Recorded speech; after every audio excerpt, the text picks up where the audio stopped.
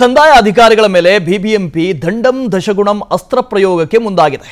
ಕಂದಾಯ ವಸೂಲಿಯಲ್ಲಿ ಹಿಂದೆ ಬಿದ್ದಂತಹ ಅಧಿಕಾರಿಗಳಿಗೆ ಖಡಕ್ ಎಚ್ಚರಿಕೆಯನ್ನು ಕೊಡಲಾಗಿದೆ. ಕಳೆದ ಬಾರಿ ನಿರೀಕ್ಷಿತ ಗುರಿಯನ್ನ ತಲುಪದಂತಹ ಬಿಬಿಎಂಪಿ ತೆರಿಗೆ ವಸೂಲಿ. ಹೀಗಾಗಿ ಈ ಬಾರಿ ಆರ್ಥಿಕ ಸಮಸ್ಯೆ ಎದುರಿಸ್ತಾ ಇದೆ ಪಾಲಿಕೆ.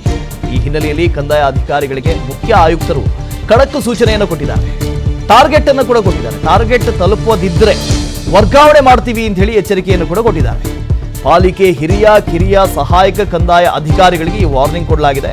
ನಾನ್ ಎಕ್ಸಿಕ್ಯೂಟಿವ್ ಹುದ್ದೆ ಅಥವಾ ವಲಯಾಂತರ ವರ್ಗಾವಣೆ ಮಾಡುವಂತ ಎಚ್ಚರಿಕೆಯನ್ನು ಕೊಟ್ಟಿದ್ದಾರೆ. ಶೇಕಡ ಐವತ್ತರಷ್ಟು ಹೆಚ್ಚುವರಿ ಕಂದಾಯ ಸಂಗ್ರಹದ ಗುರಿಯನ್ನ ಮುಖ್ಯ ಆಯುಕ್ತರು ಕೊಟ್ಟಿದ್ದಾರೆ.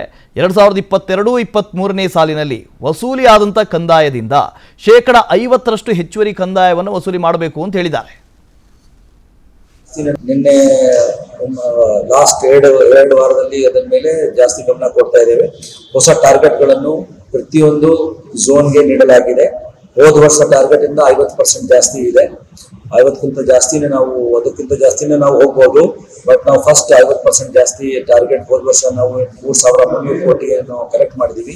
ಈ ಸಲ ನಾಲ್ಕು ಸಾವಿರ ಐದುನೂರ ಅರವತ್ತೇಳು ಕೋಟಿಗೆ ನಮ್ಮ ಟಾರ್ಗೆಟ್ ಇದೆ. ಅದು ಪ್ರತಿಯೊಂದು ಮಾಹೆಯಲ್ಲಿ, ಪ್ರತಿಯೊಂದು ವಾರದಲ್ಲಿ ಯಾರ್ಯಾರಿಗೆ ಎಷ್ಟು ಬರುತ್ತೆ, ಆ ಪ್ರಕಾರ ನಾವು ವಿಂಗಡಣೆ ಮಾಡಿದ್ದೀವಿ. ವಿಸ್ತಾರ ನ್ಯೂಸ್, ನಿಖರ, ಜನಪರ.